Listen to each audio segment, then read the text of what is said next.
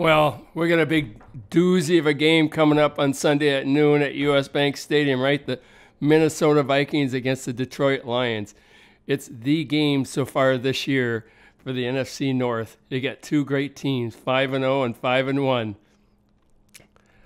It's going to be a barn burner. So let's just take a look. I mean, how do you predict who's going to win this one, right? I mean, I'm a Viking fan, so of course I'm going to pick the Vikings. You know, Darnold is playing uh, actually really good. Serviceable is what some people would say, but he's making good decisions. And then our line is okay. Uh, offensive line is okay, but Ed Ingram is kind of a weakness. And guess what? Dalton Risner's back. I'm a fan of Dalton Risner. So what I'm reading, what I'm hearing is Ingram is on a short leash, leash this Sunday. So could we see Risner replacing Ingram? Could we see kind of a rotating in type of deal? Anyways, the key is going to be these offensive and defensive lines in a game like this. We all know that. So we got Darnold. Uh, it sounds like Aaron Darnold, or sorry, it sounds like Aaron Jones could play, and we really need him because we saw what happened last game when he was out uh, injured. And the truth is, it seems like Kevin O'Connell is more creative in his play calling when Aaron Jones is in there because he gives you such versatility, such a weapon. Send him on a screen, send him on a pass, run him up the middle, run him off tackle, run him around the end. And the other, you know, he is one of the best backs in the league. I, I said it before, I'll say it again. He was one of the coups of free agency for the Vikings in the offseason, and he's, he's showing his worth. But I noticed that when Jones was out and Ty Chandler was in, I mean Ty Chandler is good. Uh, don't don't get me wrong. He's he's uh, he's a playmaker too. But O'Connell went to kind of what he did last year, year before, these 15, 20 yard passes consistently to Justin Jefferson and uh, uh, Addison. Um, and the other team defended it and stopped the run. I didn't see a lot of creativity in our offense after Jones got hurt. So I'm hoping Jones is in.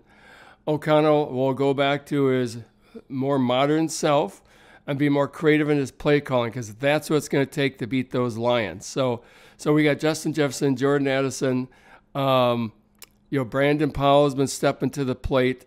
Uh, it doesn't sound like T.J. Hockenson's going to be in, so we got to rely on Johnny Mundt, Johnny Mundt, and uh, Josh Oliver. But again, O'Connell, if he really mixes it up, he'll use Mundt and he'll use Oliver. So uh, the Lions don't have Aidan Hutchinson. And can you name anyone else on their front defensive line? No. They have a good one, but they're not household names like, like Aidan Hutchinson. And it's sad to see him get hurt. I, I would much rather him be playing in the game. Um, you know, then they got Jack Campbell sitting over there in defense. They really upgraded the cornerbacks, as you know. Carlton Davis – Terrion Arnold, they got Branch. Um, so it's going to be uh, our offensive creativity and our fortitude against this tough, stubborn defense of the Lions. Shifting gears, we have Blake Cashman out. So Grugier-Hill will have to take over. He did good um, when Ivan Pace was out. So I don't think we're losing a lot, but you know you want to have Blake Cashman in there. But yeah, Flores is going to have his hands full because look at Jared Goff Reclamation Project has been tearing it up. He's got Amon-Ra St. Brown. He's got Jamison Williamson. He's got Jahmyr Gibbs. He's got David Montgomery. And then they got one of the best offensive lines in the league. Ragnow, Glasnow, uh, uh, Decker. Uh, remember, they got Sam LaPorta sitting on that tight end. So it's a formidable offense. And Flores is going to have to be equally creative, and we're going to have to dig in. I don't think we're going to get away with.